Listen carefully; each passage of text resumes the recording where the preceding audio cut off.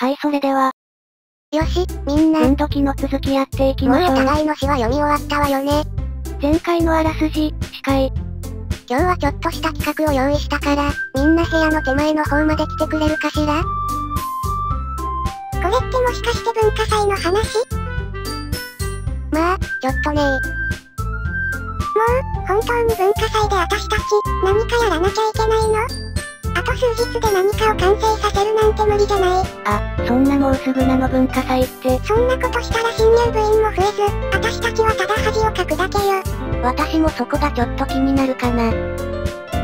土壇場の状況で準備するのとかはあまり得意じゃないし。そんなに心配しないで。簡単なものにするから、安心して。飾り付けの準備以外は、必要ないはずだから。さよりもポスターを頑張ってくれてるし、私も来客に渡すパンフレットをデザインしておいたから。まあ、それはそれでいいけど。それでも、私たちがどんなことをするのかまだはっきりしてないじゃない。あれ、知らないんだっけ？あらごめんなさい、もう聞いたかと思ってたわ。あ。パフォーマンスをするのよ。この二人無理っぽい。パフォーマンス？パあの、モニカちゃん、その通り、詩のパフォーマンスよ。一人一人好きな詩を選び、読み上げて披露するの。詩のパフォーマンス。でもそれだけじゃなくて、同じように詩を朗読してみたいお客さんがいたらやらせてあげるの。前もって準備しておきたい人もいるかもしれないし、さよりもちゃんとポスターにそう書いておいたわ。いるのそんなもさ。えへへポスターに色を塗っていたさよりは、それをこちらに向けて広げる。モニカ、あんた本気なの？そのポスター、まだ外に貼ったりはしてないわよね。やっぱなつきちゃんも苦手かそういうの。え？もう貼ったけど。これ、そこまで悪いアイデアだと思うかしら？いや、そうじゃないけど。アイデア自体は、悪くないと思うわよ。でも私はそんなの、やるだなんて言ってないから。私が大勢の人の前で、死を声に出して読むわけないじゃないまあそうだろうとは思ったけど。わ。私もなつきちゃんに賛成よ。私なんかが、そんなこと、できるはずがないもの。どうやらその光景を想像していたゆりは、恐怖で首を振っている。みんな。いや、さより。やっぱりみんながそう感じちゃうのも、無理はないわ。夏木やゆりはつい数日前まで、誰にも死を見せたことがなかったのを忘れないであげて。それなのに人いっぱいの部屋で詩を読み上げてくれだなんて。いきなりちょっと無茶を押し付けちゃったわね。私も、もう少し考えるべきだったわ。だから、本当にごめんなさい。でも、それでも全力を尽くしてみるべきだと思うの。この部活の未来は、私たちの手にかかってるのよ。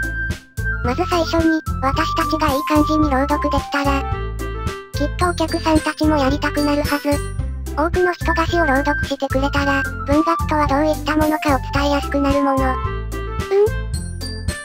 自分の感情を表すことだったり、自信と親密になったり、新たな経験をもたらしたり、楽しむことだもん。その通りよ。そしてそれらが、私たちが今この部活にいる理由だもの。その理由、みんなにも知ってほしいと思わない？私たちをここに連れてきたその気持ち、みんなにも見つけてほしいと思わない？きっと思ってるはずよ。きっとみんな、思ってるはず。そしてたった2分間、部屋の前に立って詩を読み上げるだけで、それができるというなら、きっとみんな、できるはずだから。夏希とゆりは黙っている。さよりは心配そうな顔をする。だったら、仕方ないけど。僕もそう思うよ。そこまで無茶なお願いでもないんじゃないかな。さよりとモニカは、新入部員を増やそうと多くの努力を費やしてきたみたいだし。僕らだってちょっとくらい、手を貸してあげたらいいんじゃないかな。そりゃ、そうかもしれないけど、式にはもう、反論の言葉は残っていないようだ。うーん。もう、わかったわよ。さっさとやってパパッと終わらせちゃうしかないわね。やったー。ふう。ありがとうね、なつき。それで、ゆりはどうかしら？ゆりはしょんぼりと、期待する他のみんなの顔色を伺っている。かわいい。はぁ、あ、と。どうやらもう、私もやるしかないみたいね。あはは、これで全員だ早い。ゆりちゃん、最高。思ったより簡単だった。もう、このままだと。私いつかこの部活で死んじゃうんじゃないかな。あら。まあ。ゆり、きっと大丈夫だから。でもとにかく、次の企画へと移りましょうか。みんな、書いた詩の中から一つ選んでね。お互いの前で詩を朗読して、実際に練習してみましょう。い、い、いやよそんなの。モニカちゃん。そんなの、急すぎるよ。でも部員のみんなの前で詩を読めないんだったら、一体どうやって他人の前で読むの？ああもう。心配しないで。みんながやりやすいように、まずは私から詩を朗読するから。押し切るタイプだ、強い。その次はわが母、もちろん。えーと、どれどれ？間違えて飛ばしちゃった。モニカはペラペラとノートをめくり、目的の詩を探している。そして彼女は、教卓の後ろに立つ。これは、それらの飛ぶ姿、という詩よ。5本。モニカは詩を朗読し始める。彼女のはっきりとした、自信の溢れる声が部屋に響く。それに彼女の抑揚もまた、純情だ。一行一行への感情の込め方を見事に理解しており、まるで言葉に命が宿っているようだ。過去にあった経験があるのだろうか、それとも自然とこうなのだろうか？僕は周りを見る。みんな、モニカへ視線が釘付けだ。さよりは驚いている。ゆりは何か、僕には読み取れない熱烈な表情をしている。そうして、モニカは詩を読み終える。僕ら4人は拍手をする。モニカは息を吸い、微笑む。今の、今のすっごく良かったよ、モニカちゃん。あはは、どうもありがとう。ハードル上げてない？どうにか、良い例を示したくて。逆にやりづらくなってそう。それじゃあさより、準備はできた？つ、次は私が。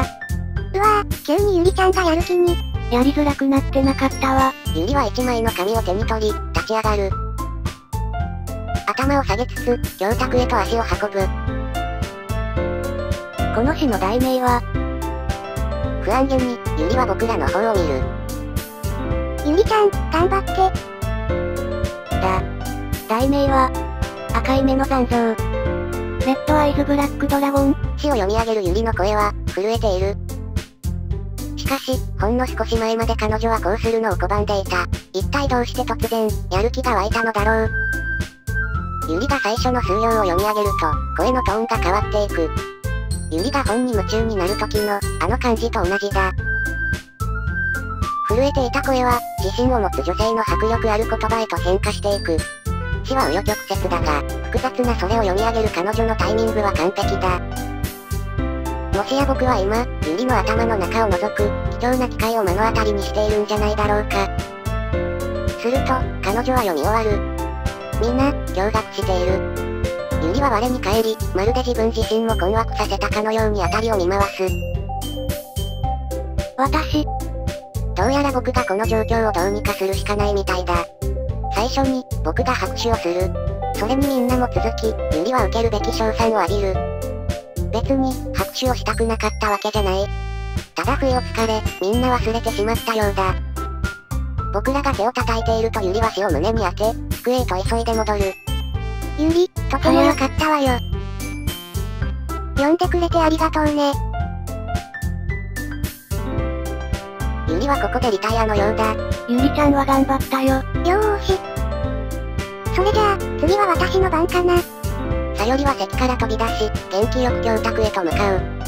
これはね、私の平原、という詩。あれ、前聞いたやつかな。ごめん、笑っちゃって。えへへ。何しとるねん。さより。ちょっと、これ思ったよりずっと難しい。みんなどうやってそんな簡単そうにやったの？ああ。そういう時は他の人の前にいるって意識しなければいいのよ。自分に向かったりだとか、頭の中で読み上げているのを想像してみて。あなたが書いた詩なんだから、そうした方がいい感じになるわよ。なるほどなるほど。本当にわかってるのこの子。よし、それじゃあ。さよりは詩を読み始める。彼女の温かい声は、その詩を読み上げるのにぴったりだ。詩は、さよりのように明るいというわけではない。むしろ爽やかで、どこかほろ苦い。紙に書かれたのを読んだところで、特には何とも思わないだろう。しかしさよりの声で読み上げられると、全く異なる意味が込められているみたいだ。さよりが僕の詩を好きだと言ってくれるのは、こういうことなのかもしれない。まるで僕がとっくに知り尽くしたと思っていた誰かの、心の奥深くを見つめているようで。やっぱできる子だったわ。さよりは読み終わり、僕らは拍手する。できたよよくやったな、さより。えへへ、ラキくんも気に入ってくれたみたい。つまりなかなか良かったってことかなそれって一体どういう意味なんだ？とてもいい感じだったわよ、さより。詩の雰囲気が、あなたとよく合ってるわね。でもその読み方だと、他の詩だと通用しないことがあるかもしれないわね。え？ちょっとよくわからないかも。つまりあなたの詩の中には、そういう優しい読み方じゃ伝わらないのもあるってことよ。どれを選ぶのかによっては、もうちょっと勢いが必要だったりするかもね。ああ、そういうことならなんかわかるかも。それは、その、そういうのも練習してはいるけど、ただ、みんなの前で披露するのは恥ずかしいというか、えへへ。しかしラキくんならいいみたいです。なら次回は、もうちょっとあなたを試すようなのを選ばせるからね。もう文化祭まで、あんまり時間もないのよ。はーい。それで、次は誰かしら？なつきふん。ラキの前に私を行かせないでよ。なんでだよ。あんたたちにかなうわけがないんだし。ラキくんになら勝てるってオブラートに包んでいってるのかよ。だから私の番が回る前に、少しでもハードル下げといた方がマシだわ。オブラートに包んでなかったわ。なつきちゃん。さすがです。いいんだ、いいんだ。僕だって、さっさと済ませておきたいし。でも僕に、選ぶほどの詩なんてないんだけどな。だから、今日のために書いてきたやつを読ませてもらうよ。僕は立ち上がり、教託の前まで歩く。みんなが僕に注目しており、とてつもなく妙な気分だ。僕は自分の詩を朗読する。自分の文章力にあまり自信がないので、気持ちを込めるのがなかなか難しい。それでも読み終わると、一応みんなから拍手をいただく。どんだけ自信ないの？みんなほど上手じゃなくて、なんだかごめん。そんなに気にしなくていいのよ。技術より、自分の文章に自信を持っていないのが問題じゃないかしら。でもそんなの、時間とともに身につくものよね。ああ、そうかもな。よし、それじゃあ。残っているのは夏希、あなただけね。はいはい。それじゃあ、行くわよ。夏希は席から立ち上がり、嫌そうに教託まで足を運ぶ。この詩の題名は、題名はどうぞ。な、なんであんたたち私を見てるのよ。あなたの番だからでしょ。ふん。それより、この日の題名は、ジャンプ。週刊少年。夏希は息を吸う。詩を読み始めると、彼女のひねくれた態度はほんの少しだけ消える。まだ彼女自身から熱意は感じられないが、詩にはリズムも応援もある。夏希のトレードマークとなる文体であり、読み上げるとより効果的だ。言葉は命が吹き込まれたかのように、飛び跳ねている。夏希は読み終わり、みんな拍手をする。ムッとしながら彼女は席へ戻る。ほら、割と簡単だったでしょ？あんたにとってはそうだろうけどね。もう私にこんなことやらせるんじゃないわよ。うーん、でも。せめて、他の人の前で詩を朗読するくらいの自信はついた？こんなの、他の人の前でやった方がよっぽど簡単よ。他人の前だったら、どんな顔したっていいんだから。でも、自分の友達の前だと。なんかただ、恥ずかしいじゃない？あ、ちょっと照れてる。それは意外だね、なつきちゃん。私だったらそれ、逆になってるもん。でもちょっとわかるかも。そうは言っても、そんなものなんだし。でも、そういうことなら。夏希は文化祭では心配いらないみたいね。夏希ちゃんの友達みんな呼ぼうぜ。というわけでみんな、要望に応えてくれてありがとう。大変かもしれないけど、どういうイベントか分かってくれたかしら。ちゃんと学園祭までに詩を選んで、しっかりと練習するように。パンフレットは私が作るから、どの詩を読むのか教えてね。はぁ、僕も、なんか別の詩を選んだ方がいいのかな。それでもいいわよ。別にあなたが書いたものじゃなくてもいいんだし。あなたが部活のためにそこまで真剣だなんて、ちょっと驚きだわ。でも、とても嬉しいわよ。ああ。うん、それはよかった。よし、みんな。今日はこれくらいにしましょうか。文化祭が近いのはわかるけど、明日も詩を書いてくるよう頑張りましょ。今のところいい感じみたいだから、ぜひ続けておきたいの。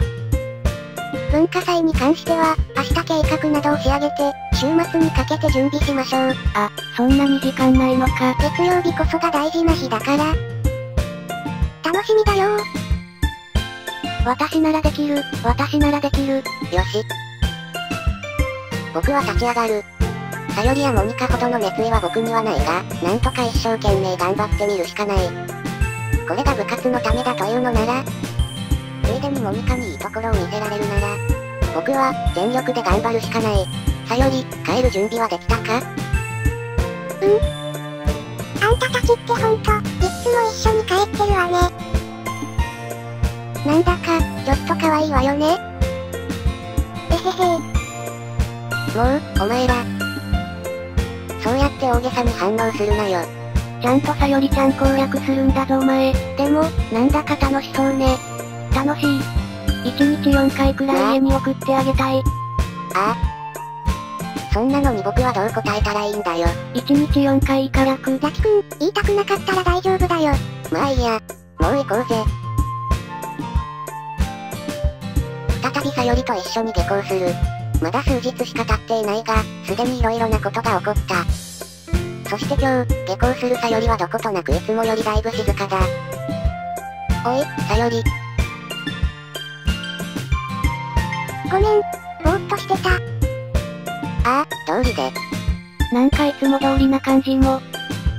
えっと。ちょっと、さっきのことを、考えてて。私は好きだけど、